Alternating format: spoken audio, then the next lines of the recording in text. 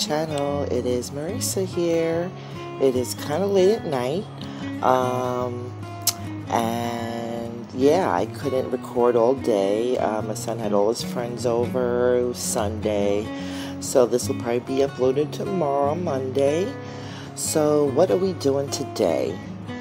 Well, if you know what Sakura um, season is, it is a time in Japan where the cherry blossoms bloom. And actually, cherry blossoms are some of my favorite flowers. Um, in my neighborhood in Queens, we have quite a few, um, actually, on my block, of these beautiful cherry blossoms. And usually, the season, uh, depending in Japan, depending on the region, it's usually from January to April. Now, I believe in New York, it's more close. It's closer to April. Um, definitely not now. It's too cold over here. But over there, depending on the region, it kind of starts in January and it goes through April. So we are going to be. Look how beautiful that is doing a pour painting today using the Primal Flow. I know I'm using a lot of this, but you know what? These colors are gorgeous and they actually all work perfectly for what I am thinking today.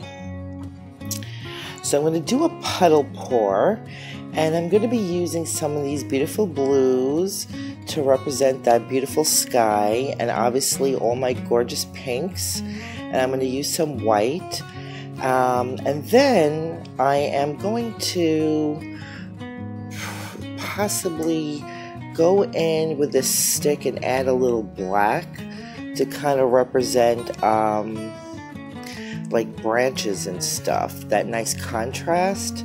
So I'm going to be doing smaller puddles all over the canvas. And by the way, this is a 12 by 12. Um, I kind of like using this. Nice pointer.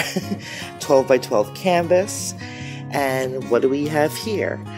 What is uh, this? Is the intense teal. Then we get the sea foam, uh, plum perfect. We have this bubblegum pink, and then we have the magenta.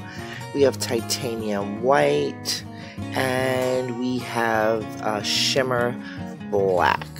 Okay, and as always, my materials are in my description. And I also, what I did buy was a new silicone mat. And I actually found one that was very reasonable.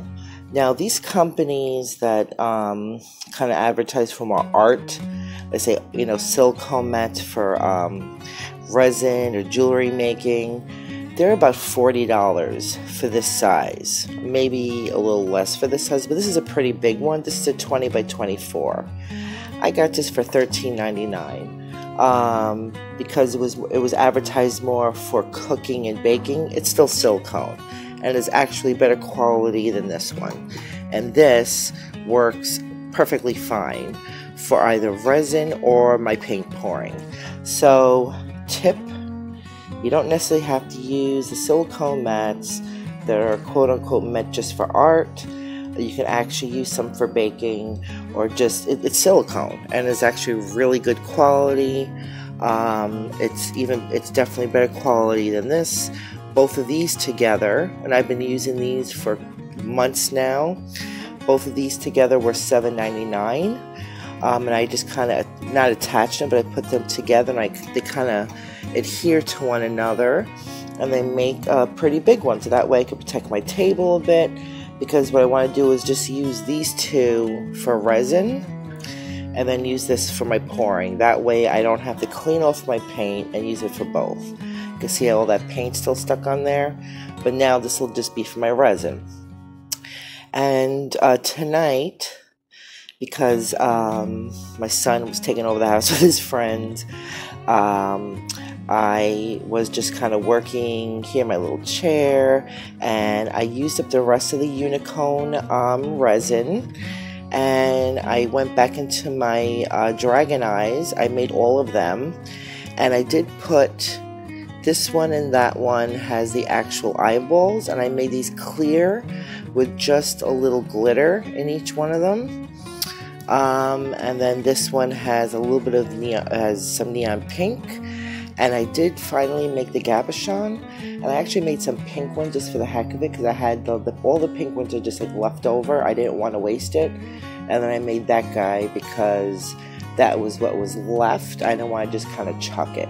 So I did make six clear cabochon, and then I made six um, new uh, Dragon Eyes. Alrighty, so let's get started on this beautiful puddle pour in honor of Sakura or cherry blossom season. Okay, guys, I will be back in a minute.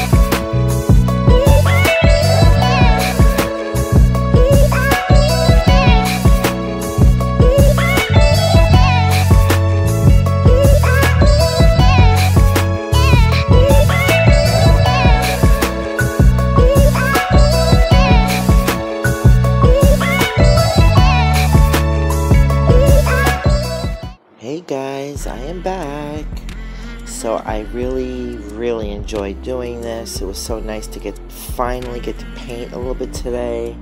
I did do some resin, but still I just really felt like painting. Um, I loved adding that black and I love the way it just, if my camera could focus, um, the way it blended into the blues. I just really love. I love puddle pours. Um, I just think they're very soft, and that white kind of just feathered out a little bit there, a tiny bit of cells. I wish my camera would focus. Alright, yeah, I love the way this came out. I think this is absolutely beautiful in honor of cherry blossom season, the Sakura. And I am really, really happy with this. I love this color combination. I think it's absolutely beautiful. And I love just a little bit of black detail just to bring it out. And for that little bit of contrast and to mix those colors just a bit. So guys, um, that is it for today or tonight in my case. Um, probably I'm going to unmold these guys. Um, don't kill me, but I did buy more molds. And they're really, really awesome and weird as all hell. Um, they're like these like skeleton skull molds, but they're very weird and a little bit different. Um, I just was attracted to, but not not expensive at all. Very, very $7.99. And I forgot to tell you that I did because I actually did run out of resin. Um, after the after doing this, I was pretty much done. I didn't have a lot left, so I did wind up trying. I was gonna get the bigger bottles of the liquid diamonds, but you know what? When I try something for the first time, I like to get the smallest version of it, so just to try out for myself. And this particular resin, the liquid diamonds, is actually a two to one ratio, meaning uh, the resin part is uh, two, and then the hardener is one part. So we'll see how that that works, and hopefully, I really love it. I heard wonderful things about it, like barely, I mean, crystal crystal clear, um, and like barely any bubbles whatsoever. No air bubbles, so um, I heard really good, great things about it. So I am hoping, and it's uh, honestly, and it's very reasonably priced. So I'm happy about that as well. Alrighty. So I, I just didn't realize how much resin I was going to go through so fast, but I'm like really loving and enjoying doing the painting and the mold and a combination of both. Alright guys, so I'll show you that resin it should be coming tomorrow with the molds. Um, but uh, it is Sunday night, so this video will probably go up to uh, Monday. So hopefully soon I could do the other video showing you what I got. And also I want to get started on my Markiplier video, my next new little series. Okay, and we're going to start off with the Markiplier with a little bit of information about him and also the kind of background painting similar to what I did with my chakra uh, series but you'll see when it happens. So alright guys that is it for tonight. I hope you guys have a wonderful day tomorrow. And don't forget to subscribe hit the notification bell so you never miss one of my videos. Don't forget to hit me up on all my social media. My all my links are below. And guys I will see you in the next one. Bye